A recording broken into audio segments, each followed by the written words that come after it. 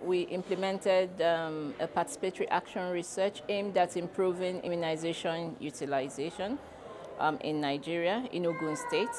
Um, we used dialogues and action cycles with community members, health workers, and local government officials. Um, they had to dis, um, dialogue together, create action plans, and implement them together.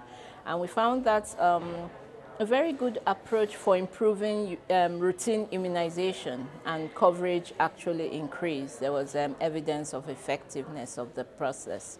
Um, the different things we saw, uh, the, the, the, opportunities for sustainability of this sort of thing, because um, we, it was decision maker led, so the government implementing agency was driving it and it was embedded into the National Program on Immunization in the focal areas. So the health workers and local government officials felt it was part of their work and they just using a different approach to try to achieve the same objectives.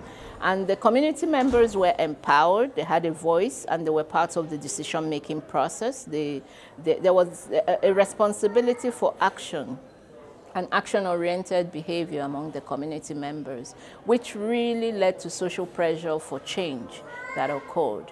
Um, and you could see the, the, there were no financial incentives for participation, just um, besides the transport reimbursement given to the participants. So those are opportunities we had um, that, that, that kind of pointed to the sustainability of this sort of approach.